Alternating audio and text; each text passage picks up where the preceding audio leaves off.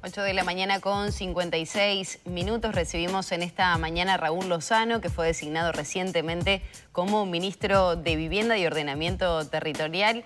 Queremos conocer cómo va a seguir esta línea de trabajo al frente de la cartera de vivienda. Justamente queda mucho por realizar, así que le damos los buenos días. ¿Cómo le va, Lozano? Buenos días, muchas gracias por la invitación y muchas gracias a todos los televidentes de Arriba Gente. muchas gracias por acompañarnos.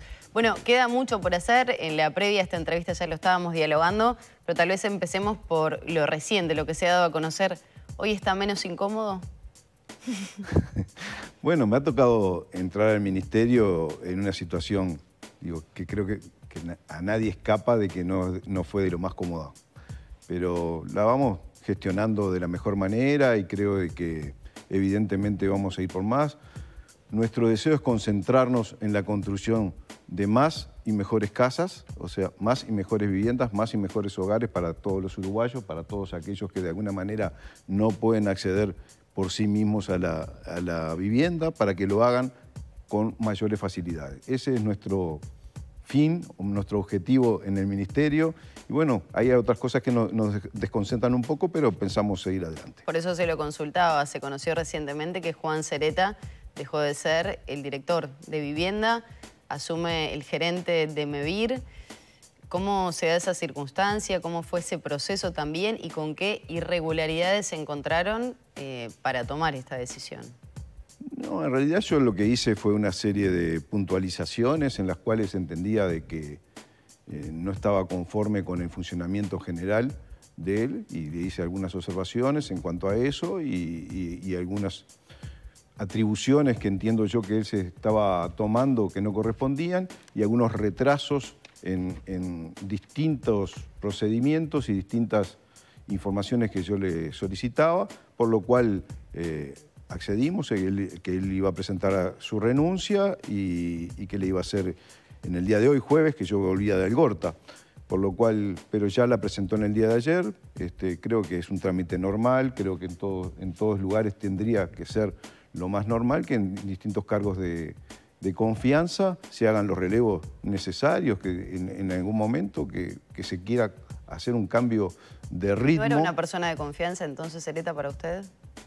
El, Cereta está, eh, él está ocupando un cargo de confianza eh, que lo ocupaba ya de antes, es decir, para mí, eh, en, los cargos que son de confianza uno tiene que sentirse cómodo con quienes está trabajando. Entonces, para eso entendí que en su momento habían una serie de, puntualizaciones que yo le hice a él y él accedió que, él iba a, solicitar la renuncia. Jorge Cereta estaba directamente asociado con lo que había sido la gestión de Irene Moreira, incluso exministra de, de Vivienda, incluso también con las autorizaciones a esas viviendas cuestionadas que habrían sido entregadas en forma directa. Esto se habló de una tensión que generó dentro de Cabildo Abierto. En realidad, ese tema no estuvo sobre la mesa en mi conversación con, con Cereta, ya que, como ustedes saben, hay una investigación administrativa en curso, por lo cual ese tema no, realmente no lo, consideramos cuando hablamos, sino que hablamos de otros temas en cuanto a ese al funcionamiento interno del Ministerio y su relacionamiento con, empresas y demás. Respecto a esa situación puntual, que obviamente diferentes medios y programas de investigación han detectado algunas irregularidades, ¿qué balance hace usted y qué acciones están tomando? Pareciera que el pedido de renuncia de Cereta fue una de esas iniciativas.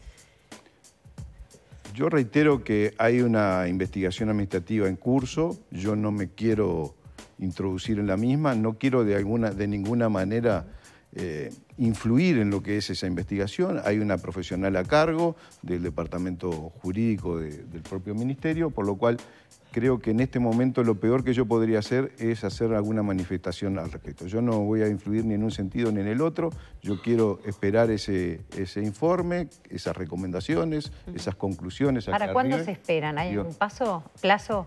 Bueno, hay, hay plazo, sí. Eh, el, primer, el plazo son de 60 días. ¿Ha tenido contacto con Guido Manini Ríos por esta situación? Sí, claro, claro. Sí. ¿Qué le señala Manini?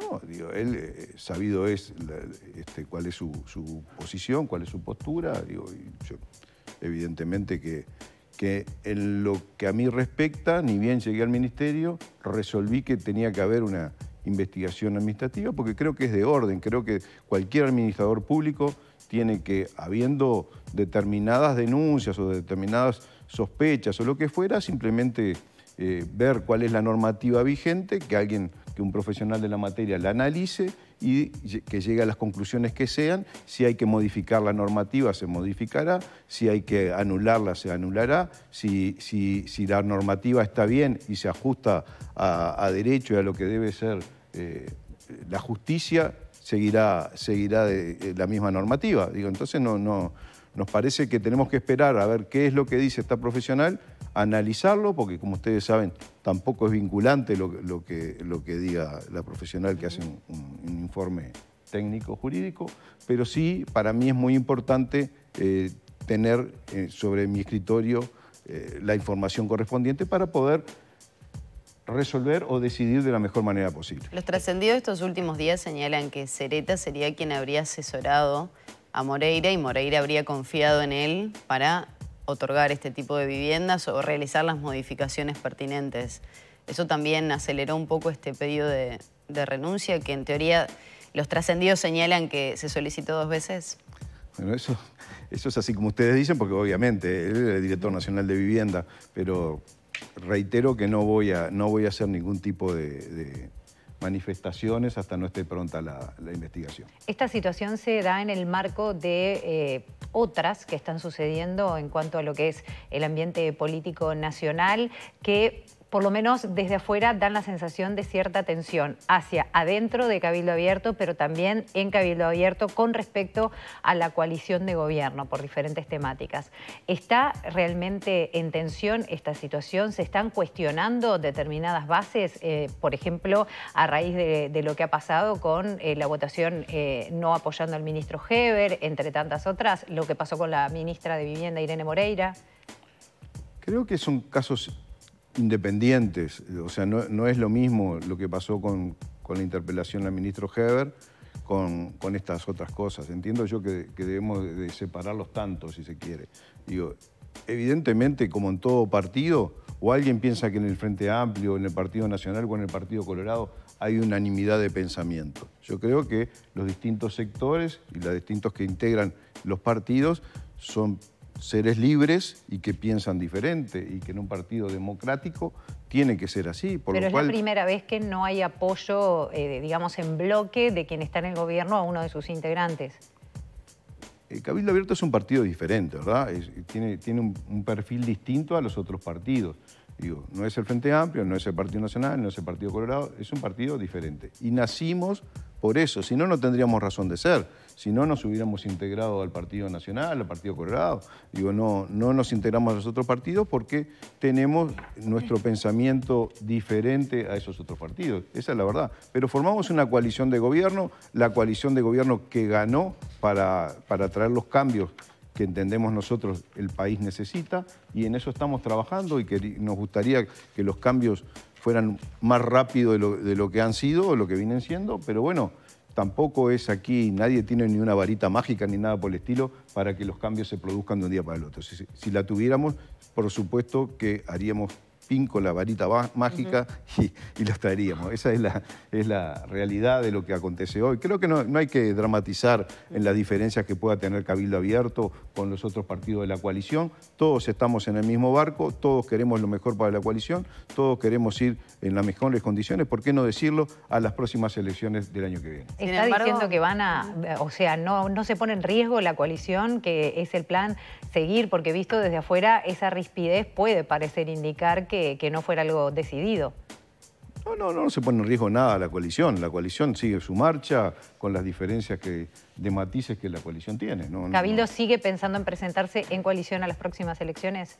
Cabildo se va a presentar como partido diferente, aparte de, cualquier coalición. Luego, luego Evidentemente continuaremos en la coalición luego de ganar la primera, en la primera elección de octubre, seguramente, y, ganar nuevamente en noviembre.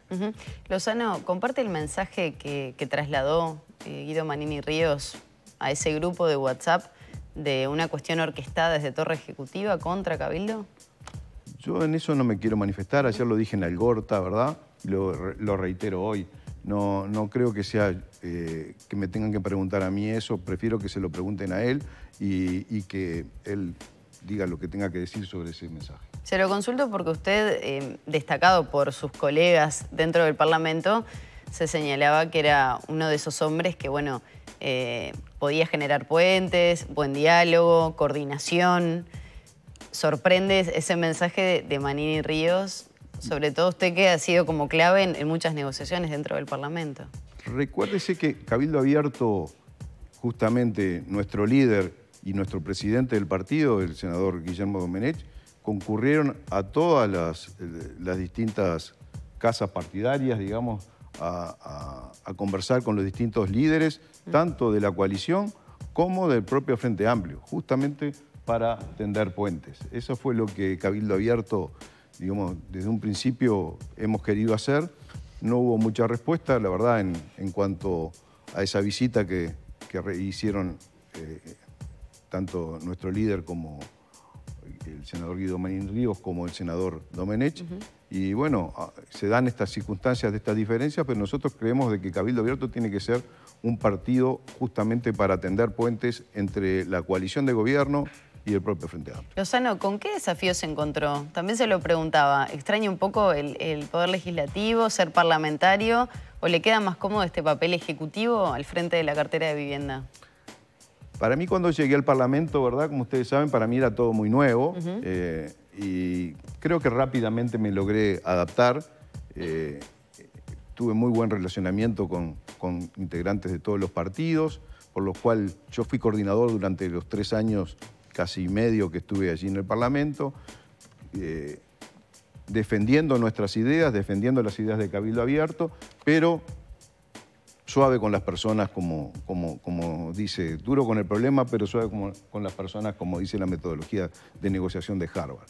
Por lo cual, la verdad que yo tuve muy buena relación, soy negociador, me gusta conversar, me gusta relacionarme, me gusta intercambiar ideas, me, me gusta tratar de buscar soluciones a los problemas no enfrentar los problemas y no poner leña cuando el problema eh, eh, eh, está, digamos, un poco adhigido. Lozano, inicialmente cuando comenzó la gestión, la ex ministra de Vivienda había hablado acerca de un número de 50.000 viviendas que luego empezó a cambiar se dijo que en realidad era aspiracional, en los hechos no, no, se, no, se, no se está llegando, por lo menos con lo que se ve hasta ahora. ¿Cuál es el foco que va a poner usted? tiene un número eh, esperado que es el, de la cantidad de viviendas que se van a entregar o ya cambió con respecto a lo que se esperaba inicialmente, lo que puede ser la expectativa de cara a esta gestión en el Ministerio? Sí, a mí no me gustaría dar números hoy, me gustaría cuando termine mi gestión eh, poderles decir tantos miles de viviendas. Hoy por hoy podemos decir sí que en soluciones habitacionales eh, que no es lo mismo que viviendas nuevas, pero en soluciones habitacionales estamos por encima de las 65.000 soluciones habitacionales y en, viviendas... Pero no nuevas, viviendas. En viviendas nuevas estamos eh, alrededor de los 22.000, esa es la, realidad hoy. Queremos construir muchas más miles, les puedo decir también de que eh, tuve la buena noticia en el día de antes de ayer, que, que en este mes habíamos llegado a los 113 millones de dólares en licitaciones, lo que significa muchas viviendas para, los uruguayos, y en eso estamos. El, Ministerio de Vivienda tiene, si se quiere, dos grandes buques insignias, el plan Avanzar, se siguieron con todos los programas que ya habían, no, no hubo un cambio en eso, y se le sumó a eso el plan Avanzar y se le sumó el plan eh, Sueños en Obra. Es un buen momento para recordar el plan Avanzar de cara a los asentamientos. ¿Cómo va ese tema? ¿Cuál es la expectativa? Como ustedes saben, es un tema también complejo, pero estamos impulsándolo y tratando de darle el máximo de celeridad. Muchas veces parece que no, pero la burocracia estatal un poco complica la, velocidad y la celeridad que nos gustaría para resolver este problema que viene de hace muchísimos años, ¿verdad? Eh, es muy lamentable ver a uruguayos viviendo en esa forma tan indigna. Yo recorro, me gusta recorrer los asentamientos, he ido a recorrer los asentamientos, en algunos más de una vez. Eh, hace unos pocos días, tres o cuatro días, estuve en el asentamiento de, Maracaná Sur, por ejemplo, donde vi allí, me presentaron cuál es el plan de obras, cuándo empezaríamos y, todo eso, y yo lo que quiero es que empiece lo antes posible, y en eso estamos, digamos, y he visto también el accionar de los distintos programas, del, programa de mejoramiento de los barrios, del plan de relocalización. ¿Qué pasa con Entre Todos Sueños en Obra, que también se sumó? El, Entre Todos Sueños en Obra creo que entiendo y estoy convencido de que es un excelente programa para el cual se pueda realmente eh, llegar para que aquellos, aquellas personas que son de clase media, que son la clase trabajadora, que no podían llegar a las viviendas, sí lo puedan hacer. El Plan Entre Todos tiene una, una serie de, de ideas allí incluidas en el mismo que realmente posibilita al clase media a llegar a aquel que está ocupando, aquella clase trabajadora que estaba un poco olvidada, ya que las viviendas de inclusión social o las viviendas promovidas, como le llaman ahora, todos sabemos que en realidad no cumplieron con su finalidad. O sea, su finalidad era la inclusión a esta clase, a la, gente trabajadora, pero en realidad no lo fue. O sea, en realidad sí cumplió con algo muy importante, que fue proporcionarle a las empresas trabajo, proporcionar mucha mano de obra, mucho trabajo. De repente también le posibilitó de que los consejos de salario se accedieran a mejores salarios para, para la, clase, para los constructores, para la gente que trabaja en, la construcción, pero no para el usuario final. El usuario final siguió pagando casi que lo mismo que, que sin estas viviendas promovidas. Y como ustedes saben, la vivienda promovida lo que tiene es que no le cobra los impuestos, no le cobra el IVA y no le cobra los impuestos a las empresas, por lo cual ese debería suponía que, que, debía trasladarse a los usuarios, pero en realidad no se trasladó como a nosotros nos gustaría. Ahora, ¿qué sucede con el plan Entre Todos o, Sueños en Obra? Lo que sucede es que justamente pone topes en los precios, en unidades indexadas, y entonces, y además de eso, de poner topes, también hay un subsidio por parte del propio Ministerio de Vivienda a través del Fondo Nacional de Vivienda, en el cual eh, se va desde un 30, eh, puede llegar hasta un 30% de subsidio, por lo que estamos hablando que una vivienda, por ejemplo, de dos dormitorios, eh, que su precio su precio en el tope son 660 mil unidades indexadas, algo así como 100 mil dólares. esas viviendas pueden llegar a costar 70 para el usuario. Y de tener una cuota de 23 mil pesos pasaría a tener una cuota de 16 mil pesos. Tuvimos en los, hace días, pasados, firmamos un acuerdo con el Banco Hipotecario ah, le quería preguntar del Uruguay. Bueno, me adelanté. Ahí está, se adelantó. Este, en el cual eh, el Banco Hipotecario del Uruguay le va a dar hasta un 95% en el crédito al usuario. Normalmente los bancos de plaza dan un 80%. El banco hipotecario, a aquellos que son ahorristas, le dan un 90%. Pero en este caso le van a dar un 95% y sin ser ahorristas. Y el ministerio también otorga un porcentaje, ¿no? Y el ministerio otorga hasta un 30%. Entonces, realmente ahí sí se va a ver... Eh, la diferencia. La diferencia, ahí sí se va a ver la diferencia y aparte tiene otras, otras, otras variables también muy importantes el plan este Sueños en Obra o Entre Todos, en el cual en vez de ser dos las personas que, incluyen su salario, son tres, por ejemplo, en el vínculo, de, o que sean familiares o pueden llegar a ser hasta un amigo, no está el parentejo allí puesto, por lo cual también le da mayores posibilidades de acceder al crédito. ¿Qué pasa con estas modificaciones que puedan surgir en el Banco Hipotecario del Uruguay? ¿Pueden afectar en algo este tipo de, convenios que se estaban realizando junto al Ministerio? Pensamos de que no van a afectar en nada. el, Banco Hipotecario va a seguir funcionando en el caso que se decida. Tengamos claro de que se necesitan mayorías especiales para eso. Y, Habrá que ver si la oposición apoya. Habrá que ver que la, si la oposición y los propios partidos de la coalición si la apoyan en su totalidad. ¿Cabildo está en duda? Eh, yo creo que los partidos todavía no han logrado analizar eso como partidos, podrán haber algunas impresiones personales, pero los partidos como tales todavía no han tenido una decisión.